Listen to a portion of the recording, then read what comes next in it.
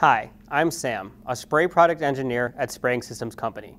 Today, I'm going to talk about nozzle clogging. Spray nozzles are precision components which have an important role in most coating, cooling, and cleaning operations and are critical in the quality of an end product. Nozzles that aren't performing optimally can result in thousands of dollars in wasted product and unscheduled downtime. One of the most common problems that impact nozzle performance is clogging.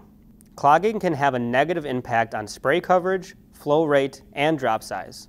Application results will suffer, and in many cases, will require unscheduled downtime to clean or replace the nozzles. The most common cause for nozzle clogging is contaminants in the fluid supply. Contaminants could originate in the fluid itself, or they can come from break-off in supply lines due to corrosion. Clogging is particularly common in systems that use recirculated water. There are five simple ways to reduce nozzle clogging. 1. Use maximum free passage nozzle designs. These nozzles offer open flue passages that allow most contaminants to pass through. 2. Add strainers. Strainers will trap larger particles and prevent debris from entering the spray nozzle orifice or the vane. Strainers are available in two forms, integral and T-strainers. Integral strainers are ordered as part of the nozzle itself and are available in a variety of mesh sizes. T-strainers are available in many configurations and are designed to minimize pressure drop and provide simple, fast cleaning and maintenance.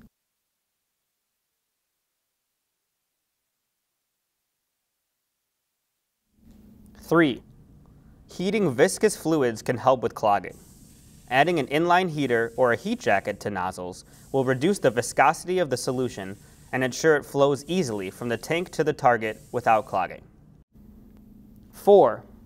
Self-cleaning nozzles are another great way to minimize clogging.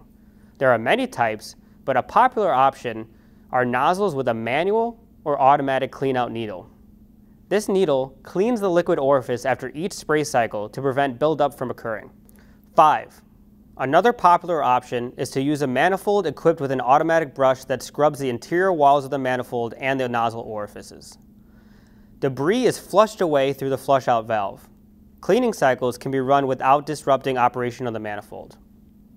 If clogging is a problem in your spray application, be sure to talk to your local spray specialist.